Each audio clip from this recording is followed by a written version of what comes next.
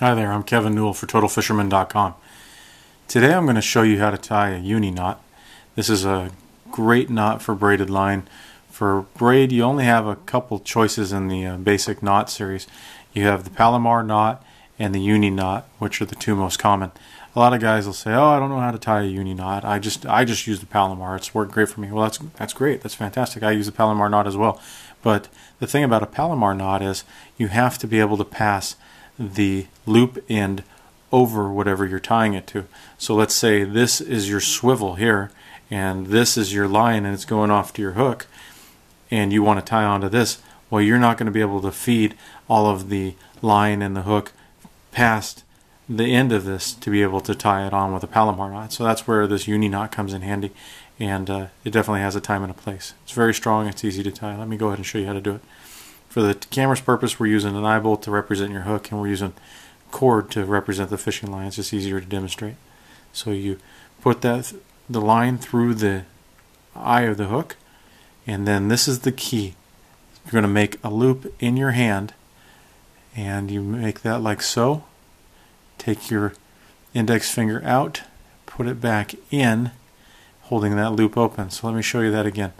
Pass it through the eye of the hook, make a loop like so okay and then hold that open with your index finger and then you're going to pass the tag portion of the line through once twice three four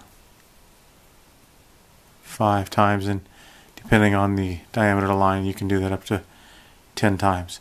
Go ahead and let go pull your finger out go ahead and allow that to draw up and form, helping it along a little bit if need be, and then pull that down by pulling on the standing portion of the line.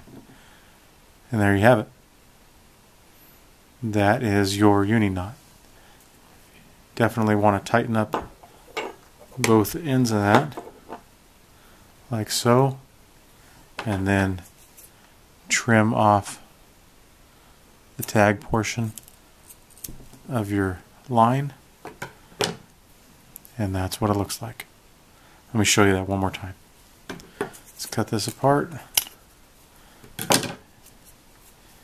and so you pass it through the eye of the hook.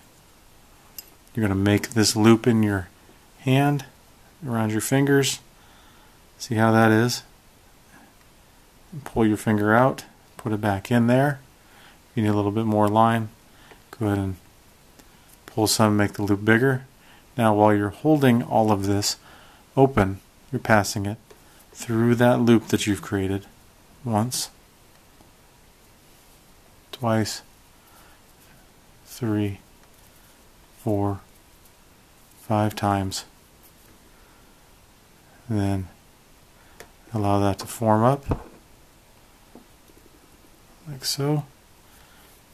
Then draw that down on top of your hook, pulling the tag in tight and the main portion tight. And then trim off your tag. I like to leave a little extra on there just in case I didn't get it pulled down as tight as I should have. That way it doesn't pull into the knot and then slip through. there you have it. That's the uni knot for braided line.